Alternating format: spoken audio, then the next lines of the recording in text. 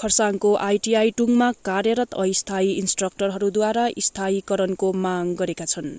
ITI टुङमा अस्थायी रूपमा कार्यरत चारजना इन्स्ट्रक्टरहरूमा सुधीर शर्मा जुलियर सुनवार रोहित गुरुङ र अशोक सुब्बा रहेका छन्। चारजनाले आज खरसाङमा पत्रकारहरूसित बोल्दै हामी धेरै लामो समयदेखि अस्थायी रूपमा कार्य गरिरहेको हामीले स्थायीकरणको मागलाई लिएर धेरैपल्ट क्षेत्रीय सरकार जिटिए र कोलकातामा पनि ज्ञापन दिएको तर अहिलेसम्म पनि स्थायीकरणको माग पूरा नभएको बताएका छन्। हामी आइटिआई टुङ जुन खरसाङमा स्थित छ त्यसको चारजना हामी पार्ट टाइम इन्स्ट्रक्टर्स र हाम्रो यो मिडियामा आउने मेन उद्देश्य चाहिँ के थियो भन्दाखेरि यहाँ आइटिआई टुङ जुन चाहिँ हाम्रो प्रशिक्षण केन्द्र जुन चाहिँ चलिरहेको छ यत्रो वर्षदेखि र यसमा स्टाफहरूको कमीको कारणले गर्दाखेरि यो दिनदिनै डेटोरेट हुँदै जाँदैछ। र हामी हामी मूल हामी आउनुको कारण चाहिँ के हो भन्दाखेरि हामी पार्ट टाइम इन्स्ट्रक्टर जस्तो म दुई हजार आठमा लागेको अनि हाम्रो एकजना साथी हुनुहुन्छ अशोक सुब्बा उहाँ आज आउनु सक्नु भएन। कुनै कारणवश उहाँ दुई हजार दसमा लाग्नु भएको यहाँ जुलियस सुनवार उहाँ दुई हजार बाह्रमा लाग्नु भएको अनि यहाँ हाम्रो रोहित सर उहाँ दुई हजार चौधमा लाग्नु भएको। र हामीले देख्दाखेरि चाहिँ भेकेन्सी पोस्ट हेर्नु पर्दाखेरि आइटिआई टुङमा टोटल साठीवटा भेकेन्सी पोस्ट साठीवटा भेकेन्सी पोस्ट अहिले एभाइलेबल छ जसमा चौधजना रेगुलर स्टाफ छ। अनि त्यसमा पनि तपाईँको चारजना हामी अब पार्ट टाइम इन्स्ट्रक्टर अनि अरू पे ब्यान्डहरू यस्तो लगाएर यो अवस्थामा चलिरहेको छ आइटिआई र यो कुरोलाई चाहिँ हामीले जानकारीको निम्ति कलकत्तामा हेड अफिसमा जिटिएमा धेरैचोटि हामीले हाम्रो मेमोरेन्डमहरू पेस गऱ्यौँ कि यस्तो अवस्थामा चलाउनु गाह्रो हुन्छ भनेर है। अब जस्तो हामीलाई पार्ट टाइम भनेर राखेको छ जसलाई सत्तर घन्टा महिनामा पढाउनु भनेको छ। एउटा स्टुडेन्टलाई हामीले ट्रेनिजलाई भर्ती गरिसकेपछि महिनामा सत्तर घन्टा पढाउँदाखेरि उसको कुनै कोर्स करिकुलम केही पनि कम्प्लिट हुँदैन।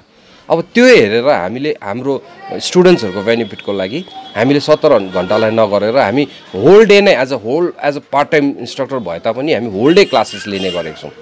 र यहाँनिर कुरो के हो भन्दाखेरि अब यो भेकेन्सी पोस्टलाई कि यत्तिकै राख्ने यसलाई फुलफिल गर्नुपर्ने भनेर अब हामी म आफै सिटिआई ट्रेनिङ इन्स्ट्रक्टर पास गरेर आएँ यहाँ डिप्लोमा हुनुहुन्छ यहाँ हाम्रो एनसिबिटी एनएससी दुइटै गर्नुभएको अर्को सर पनि त्यस्तै। हामी सबै क्वालिफाइड छौँ र यो कुरोलाई हामीले लिएर हामीलाई रेगुलर गर्दो भनेर हामीले धेरैचोटि मेमोरेन्डमहरू पनि हामीले पेस गरिसकेको थियौँ।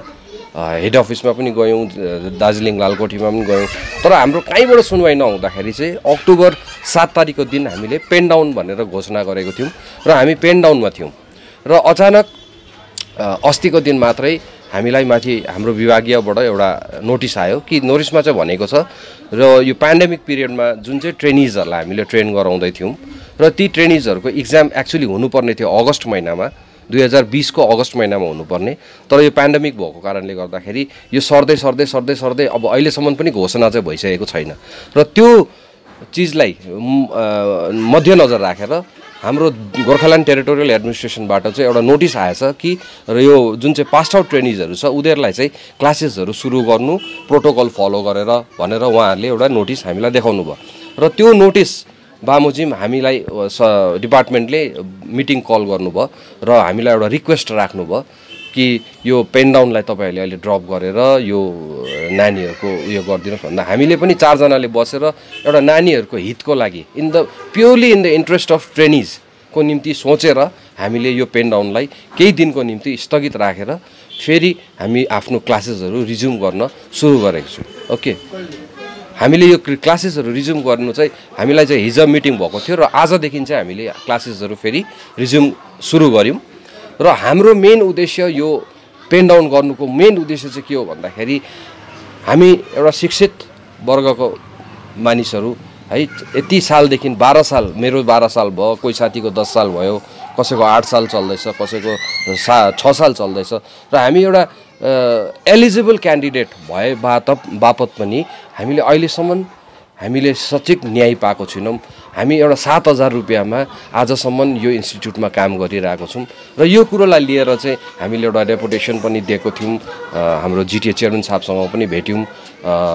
कलकत्तामा हेड अफिसमा गएर सबैलाई कुरा गर्दाखेरि तिमीहरूको अब पुरा कन्फ्युजन छ र त्यो त्यसको लागि चाहिँ हामीले यो मिडिया मार्फत हजुरहरूलाई पनि यो जानकारी जनाउन चाहन्छौँ कि हामीले एउटा कुरो चाहिँ हाम्रो मेन उद्देश्य चाहिँ के हो भन्दाखेरि चाहिँ हामीले आइटिआई टुङमा तयार गरेको केटाकेटीहरू आज बाहिर निक्लेर समाजमा कुनै बर्डन बन्नु जाँदैन।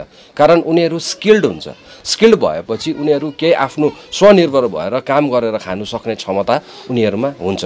जस्तो एजुकेसन डिपार्टमेन्ट हामीले हेऱ्यौँ भने आज ग्रेजुएट गरेर निक्लिन्छ भने बजारमा हेऱ्यौँ भने ती ग्रेजुएट नानीहरू पुरा भेट्छौँ जो दुई हजार तिन हजार रुपियाँमा काम गर्नुमा बाध्य बनिरहेको छन्। तर वेराज आइटिआई इन्डस्ट्रियल ट्रेनिङ इन्स्टिट्युटमा हामीले शिक्षित एउटा स्किल्ड ट्रेनर्सहरू हामीले निकालिसकेपछि उनीहरू आफ्नो स्वनिर्भर भएर बाहिर गएर उनीहरू काम गर्नु सक्छन्। र यति ठुलो समाजलाई एउटा ठुलो हामीले भनौँ भने हामीले एउटा योगदान दिइरहेको छौँ। र पनि आजसम्म हामीमाथि चाहिँ किन यस्तो अत्याचार हामीमाथि चाहिँ किन सुनवाई हुँदैन? र हामीले यही आशा गरेर चाहिँ यही गरेर आज प्रेस मिडियामा हामी आएर हजुरहरूसँग यो समक्षमा यो राख्न चाहन्छौँ कि हामीलाई पनि केही होस्। सो द्याट हामीलाई पनि एउटा मोटिभेसन होस् पढाउने। सात हजार रुपियाँमा अहिलेको दिनमा सम्झिनुहोस्। पोसिबलै छैन घर चलाउनको निम्ति। र त्यो कुरोलाई लिएर चाहिँ हामीले धेरैचोटि विभागीयहरूसँग भेट्यौँ र भेट्दा पनि अहिलेसम्म केही सुनवाई नहुँदा चाहिँ हामीले पेन डाउन गर्नु बाध्यवश हामीले पेन डाउन गऱ्यौँ। है यसमा कतिजनालाई हानि भयो हाम्रो स्टुडेन्ट्सहरूलाई हानि भयो त्यसको लागि हामी क्षमा चाहन्छौँ। तर के गर्नु? आफ्नो परिस्थिति आफ्नो घर आफ्नो घर पनि त चल हामी अँध्यारोमा बसेर अरूलाई अँध्यारोमै डोड्याउनु त हामी सक्दैनौँ। सो त्यो हेतु आज हामीले चाहिँ यो पेन डाउन स्ट्राइक गरेको थियौँ। तर केही दिनको निम्ति हामीले यसलाई विथड्र गरेको छौँ र फेरि हामीले क्लासेसहरू हिजोदेखि हामीले रिज्युम गरेको छौँ।